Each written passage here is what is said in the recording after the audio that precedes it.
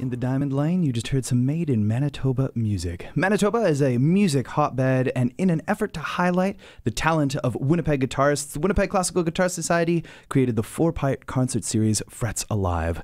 The third installment, titled Crossover Concert, takes place this weekend, and I'm joined by Rodrigo Munoz, one of the performers, to tell us more. Good afternoon, Rodrigo. Good afternoon. That's such a pleasure to have you. I know you've been here before. I have been a couple times. Yeah, yes. it's, it's great to have you back. I, I mean, in my mind, uh, Rodrigo, you're the you're the perfect performer for this concert. You know, a, a classical guitarist who fronts one of the best known Latin bands here in Winnipeg, In Papa Winnipeg, yeah. Mambo. That's right. Yeah. What, what can you tell us about this idea of being a crossover artist? I love uh, uh, being able to do both uh, the classical and the pop. I guess you could call the other stuff. You know, the the jazz and the Latin jazz and what what have you. I love I love I love that because it's it's. Uh, it, they're quite different in many ways. I mean, there there are a lot of similar, similarities, but there's also a lot of difference. Uh, um, one thing is that uh, when I perform classical, or I, I I love it. I love the music. I love the music, uh, the classical more than the uh, the other stuff. I'm sorry to say to people who The big you know, reveal. I really love the pop stuff and the Latin and the jazz, but I love the, the classical more. I think it's just uh, better. So, so we just heard you performing a little bit of classical music. That was that was some Mozart, right? You were on the That's right. guitar. Who were you performing with on that recording? Uh, on on violin is Boyd McKenzie, and on cello is uh, Carol Carolyn N- Nagelberg. Uh, we were talking off the air while we were listening to it, and I, I so love the textures. The guitar with the violin, with the cello, it just produces such a wonderful romantic sound. What do you enjoy about that particular trio? Well, it, it sounds big, you know. Yeah, it does. It it, uh, it's only three people, but because you have, uh, you know, you, you got the low end with the cello, and then you got the high end with the violin playing the melodies, and then but you ha- the guitar adds a lot of the harmony, and it also uh, a lot of texture. Yeah, it fills out the sound in a certain That's way. right. So it, make, it sounds bigger than it, it, it is, you know, in my opinion. Yeah. I, I totally agree. Uh, we're going to get to the program uh, for the, tomorrow's concert. It is indeed tomorrow that it takes place. yes. I know you, you just came from a rehearsal. How did the rehearsal go? It went really great. Oh, fantastic. Looking forward to hearing more about the show. But I, I'm curious, as such a busy performer in the city, I mean, you're, you're all over the place between Papa Mambo, between Trio Bembe, and between everything else that you're doing. Do you get to play classical guitar as much as you'd like?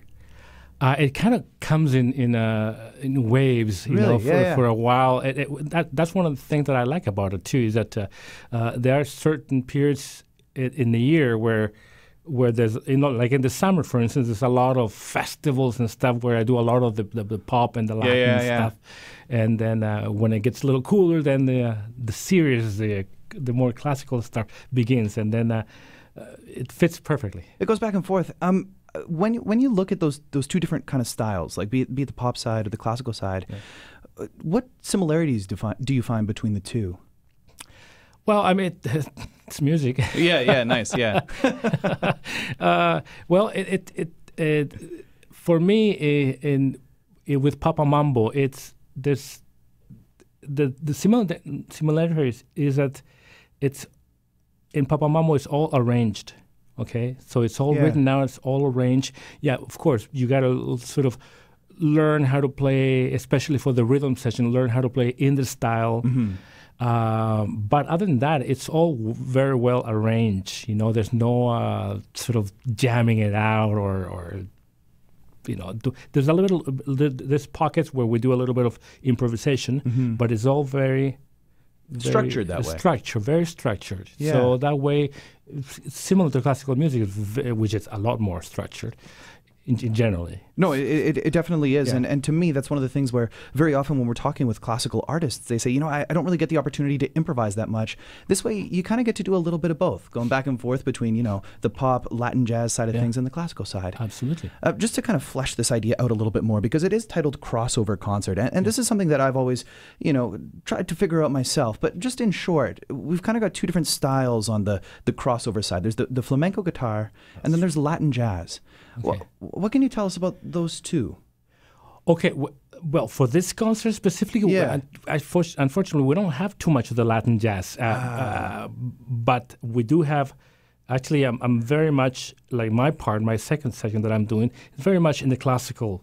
Uh, I mean, you could talk about Piazzolla being a, sort of a, on the edge of. of He's like that cusp, right? Where yes. it sounds like, where are we? Are we classical? Is this, I mean, he's so influenced in my mind by his upbringing and the music that he heard around him, right? Exactly, uh, and, and that uh, that was one of the difficult things about Piazzolla when I was looking for uh, some of his uh, music, and then there were so many like every every single band or or, or ensemble played it different because I was like. Uh, I want something so I can arrange, you know, and, and then and then and I figure out because Piazzolla himself, whenever he, I mean, he did write things out, Yeah. but then when he went out with his group, he was a little more more flexible. You know, Yeah. he they kind of a more sort of on the kind of a jazz uh, musician. Yeah. So that's why it's difficult to find a one exact uh, version to work from. That- so that- that's pretty cool. What, what else do you have on the program? There's the Piazzolla. What else are you going to be performing tomorrow? Well, tomorrow uh, we begin with uh, some baroque music Ah, nice. by Ernst Gottlieb Baron, who's a, a lutenist. Yeah. Before the guitar. That's right. Yeah. That's right. And uh, writ- he wrote uh, Primo Concerto in three movements: uh, Allegro, Adagio, and Vivace. And that's a lovely work. Uh, very, very baroque style. Mm-hmm. Uh, b- beautiful melodies. You know, very rich. Uh, and then we do the uh, the Mozart, which is Lovely. uh, it's a long piece. It's about 14 minutes long actually. It's in two movements, Allegro and then Minuet. Lovely. And that's an arrangement actually Nice. by a fellow named Porro or Porro. Actually, his name is Porret, Jean Pierre Porret, Yeah. but he changed his name to Porro to Italianize Oh, fascinating. because it was kind of the thing to do back Yeah. then. He's from the same time of Mozart, so he was around. And we heard a little snippet of that to begin. That's right. You're going to be performing with the same players, correct? That's that's right. Oh, this is outstanding, A- and and it sounds like a, an absolutely great show. Uh, I want to ask you, um, just lastly, um, why do you hope audiences go to the show? What, what do you hope they take away from it? Well, I hope I hope they, they, they enjoy the music very much. Uh, you know, we've been practicing and getting this all together, and I hope they. Uh, it's just the beauty of, of, of the sounds and the melodies and the harmonies, and and and, uh, and it's uh, in you know in our age of uh, technology, uh, uh, there's so much uh, technology around us all the time Yeah. uh, with especially with uh, uh, in, even in music you know there's so much uh, Yeah, digital work. digital work and stuff like that this is in a very uh, dry uh, in a way uh, just the, the, the instruments acoustically just sit down and just listen and Just enjoy the music. that's right Yeah, just be there and be in the moment, which is such a wonderful thing. Exactly. Uh, Rodrigo, thanks for coming by the studio this afternoon.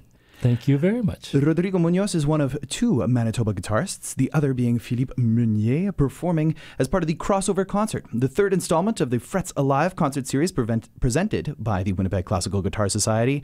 The concert takes place Saturday, March 24th, 8 p.m. at the First Unitarian Universalist Church of Winnipeg. Tickets are just $15. Uh, if you're on the fence about going to the show, we're going to hear a little bit more of Rodrigo's playing. Rodrigo, what are, what are we going to hear in this outro? This is Libertango by Astor Piazzolla Fantastic. Here we go.